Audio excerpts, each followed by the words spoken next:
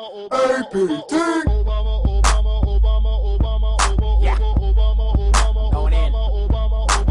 Call him president, he's the next new president. Yeah, senator from Illinois. Yeah, his criteria compared to John McCain. This isn't fair, cause he's BLAC. So the eyes are on E. Through his pencil, he write legislation with the country on his mind. And he don't code ish, cause he ain't got time every second, minute, hour. KKK. He got guards ready to pop him with their ch ch ch ch choppers. Every brother, mother, sister, cousin, grandma wanna hump him. Even got Hillary Clinton on the side ready to jump him. Tell the Clintons, ah, couldn't catch him, couldn't stop him. They go by the party rules. If you can't beat him, you can't top him. Thought you'd smack him, couldn't pop him. Delegates couldn't cop him. Bill Clinton couldn't help her. Too bad she couldn't drop him. Woo!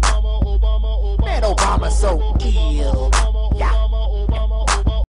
I'm Barack Obama, and I approve this message.